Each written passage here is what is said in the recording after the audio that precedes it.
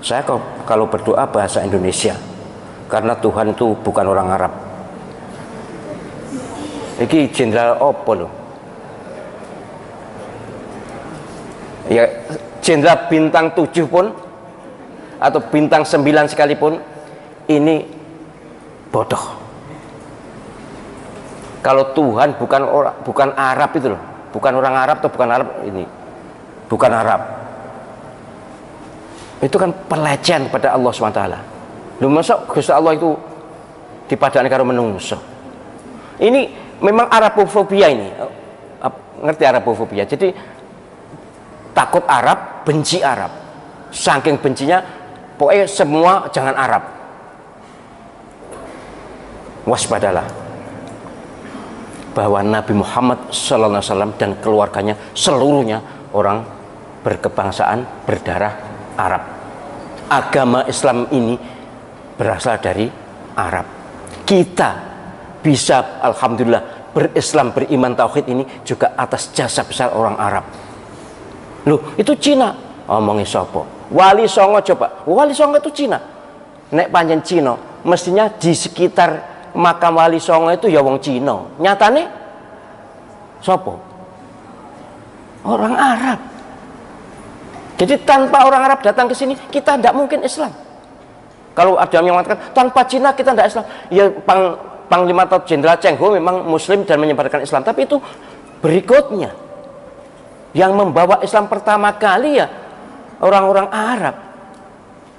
Wong Cina Dewi Islamnya juga kemudian kok. Jadi sekali lagi kalau ada orang mengatakan Cina yang membawa Islam ke Indonesia, Wali Songo itu Cina. Itu memang anu, wis kesambet. Kesambet itu apa, Mas? Kesurupan. Kesurupan setan Cina. setan karena ono setan Jawa, setan Cina karena ada tuh. Setan yang ada di Cina itu sudah ke sini kemudian menyurupi itu. Gampang saja untuk mendebat tuh. Orang-orang yang tinggal di sekitar Wali Songo itu wong opo? Jawa apa Cina apa Sunda apa Arab? Wis Wali Songo itu silakan kunjungi semuanya. Sunan Gunung Jati di Cirebon, kemudian banyak di daerah Jawa Tengah, Jawa Timur ada lima, Semuanya kalau penyen pernah berkunjung ke Wali Songo mesti di sekitarnya kampung Arab. Orang-orang Arab. Kita tidak usah alergi lah. Ini kok, kok kayaknya kok lempat lagi? Bahwa benci Islam, benci Arab itu kadrun itu itu dulu pernah dengar kita. Istilah itu pernah dengar. Jadi kalaupun tidak senang Arab ya sudahlah itu hak kalian. Tapi kalau mengatakan bahwa saya kalau berdoa selalu bahasa Indonesia karena Tuhan itu bukan Arab itu mbok ngaji setelele walaupun jenderal kan le kan anda kata mbah jenderal bintang piro ini Mbah Makmun Kiai Haji Makmun Zubair mengatakan orang yang benci Arab neraka saya punya videonya. Mengapa? Karena benci Arab sama dengan benci Nabi SAW. Benci keluarga Nabi SAW. Arab yang jahiliyah ya banyak. Abu Jahal ya Arab. Abu Lahab ya Arab. Abu Sufyan, Abu Sufyan sudah masuk Islam.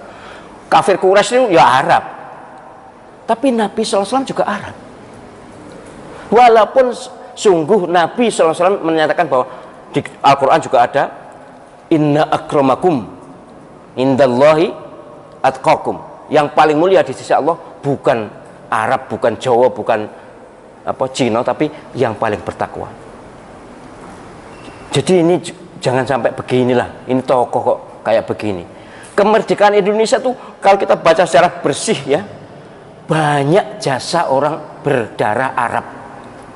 Sampai Bung Karno menyatakan bahwa Arab itu pribumi. Siapa yang bilang begitu? Presiden pertama. Karena merasa bahwa beliau bisa membaca proklamasi itu dibantu oleh orang-orang Arab karena waktu itu orang-orang yang sudah jenggelek apa menaiki jenggelek sudah tenggereng ayo kan apa sudah tegar ya sudah bisa mandiri hidupnya sudah selesai ekonominya sudah rampung, itu orang Arab. Mereka berdagang. Datang berdagang bukan menjajah kayak Belanda, bukan. Bukan menjajah kayak Jepang, bukan. Dagang kemudian berdakwah. Rumah Pegangsaan Timur nomor 56 itu rumah orang Arab diberikan ke Indonesia. Jadi jangan mimpi dan jangan ngelindur juga jangan kesurupan ya. Walaupun kalian jenderal atau kalian profesor atau kalian kiai kalau kalau sudah kelewatan begini ini namanya kesambet